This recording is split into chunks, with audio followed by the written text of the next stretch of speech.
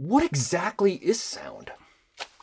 Well, sound sound is our way of understanding, or at least, or hearing, or getting information on what's moving around us, and almost everything in nature moves back and forward somehow, or if it continues moving, then it's continuous somewhere. But most things will vibrate back and forth at a certain frequency, uh, and that's just uh, mechanical physics.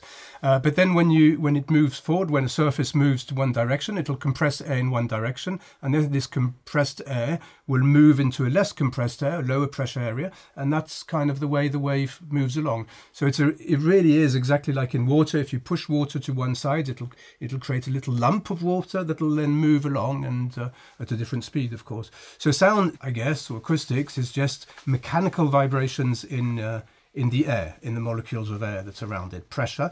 But of course, you know, with waves in the water, that's when you have a wave that goes up and down.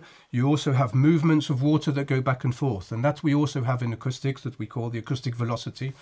So I would say it's characterized by the pressure going up and down, also the velocity of the molecules going back and forth, and this whole wave goes forward. So it's not it's not the molecules that will be going forward, but just the the the shock of or the or the movement of the this wave.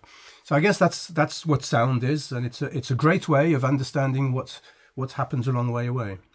But then, how do we perceive that sound? Well, then it's quite then it gets quite complicated. But all all of this sound, so it's it comes from different places and different sources. So there's lots of different frequencies. Frequencies is the speed the object moves, uh, compressing the air, and you can hear like a car on one side, a guitar here, a dog screaming here. But all of this is it's all pressure going up and down at different speeds. Mm-hmm. And all of this comes into our eardrum through a canal and comes to our eardrum, and basically the eardrum will go back and forth. And that's that's all that happens on a mechanical side here.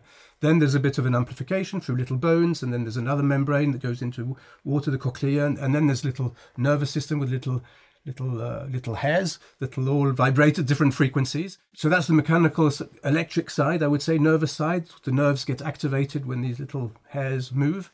So we have a very powerful signal processing system in our brain that allows us to chop down all of this information and to separate it in different sine waves or frequencies to understand what the source of sound on is exactly, even if they're all mode up, or what the different sources of sound are, where they're coming from, because we have two ears, so the, the sound, the timing is different, where it's coming from, and with all the reflections, what type of environment are we on?